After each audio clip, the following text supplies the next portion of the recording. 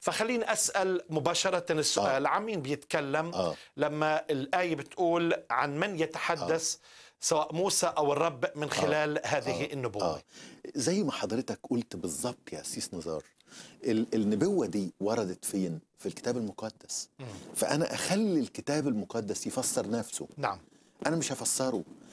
زي ما حضرتك قلت إن هو مكتوب فيه تناغم في تناغم ما بين العهد القديم والعهد الجديد. نعم. ولما أقرأ ده بتبان الصورة تماما. فأنا لو بصيت أنا بقول لكل مشاهد أقول الصدق في المسيح هذه النبوة لا تنطبق إلا على شخص الرب يسوع المسيح. وقد تمت بالكامل في شخص المسيح. فمثلا ال- ال- اللي يؤكد الكلام اللي أنا بقوله. لو جينا الإنجيل يوحنا الأصحاح الأول في يوحنا واحد آية 45 في لبس بيقول إيه؟ بيقول إيه؟ يقول آه، في لبس وجد نثنائيل وقال له وجدنا الذي كتب عنه موسى في الناموس لما يقول كتب عنه موسى في الناموس كتب إيه؟ نبيا مثلي سيقيم لكم الرب إلهكم. نعم.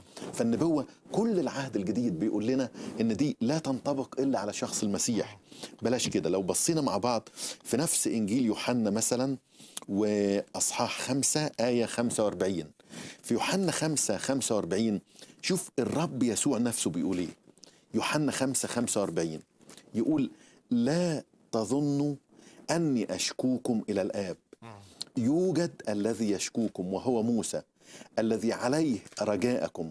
لأنكم لو كنتم تصدقون موسى لكنتم تصدقونني. ده اللي بيقول كده المسيح. وبعدين يكمل يقول إيه؟ لأنه هو كتب عني. كتب عني فين؟ كتب عني وقال نبيا مثلي سيقيم لكم الرب إلهكم.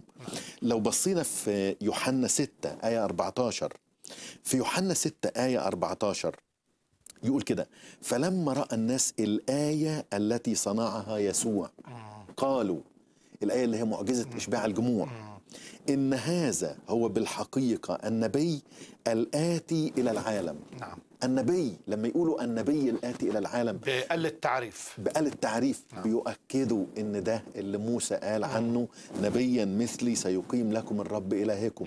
بلاش كده.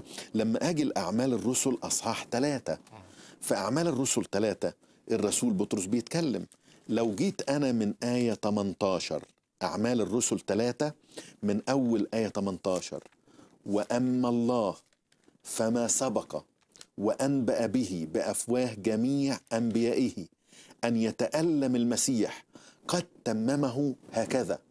ويبدأ يقول لهم توبوا وارجعوا ليمحى خطاياكم لغاية لما نيجي الآية 22 فإن موسى آية 22 من نعم. أعمال ثلاثة قال قال للآباء إن نبيا مثلي سيقيم لكم الرب إلهكم من إخوتكم له تسمعون.